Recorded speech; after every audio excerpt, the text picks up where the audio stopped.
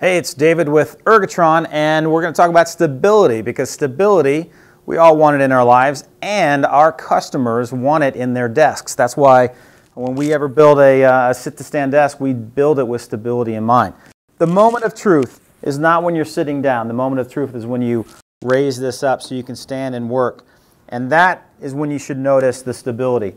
This is our WorkFit TX, and this thing just is solid. It has a solid work surface. I can lean on it.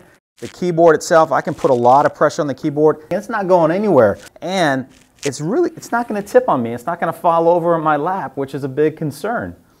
So that's, the, that's how we solve stability. Now let's go look at one of the other guys to see how they do.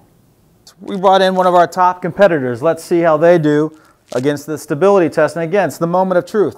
When this thing is coming up, you know, and, and going halfway and kind of seeing what it feels like, okay, coming up all the way.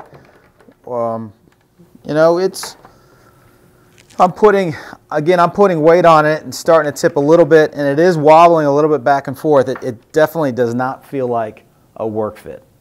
Work fit, it is the right choice.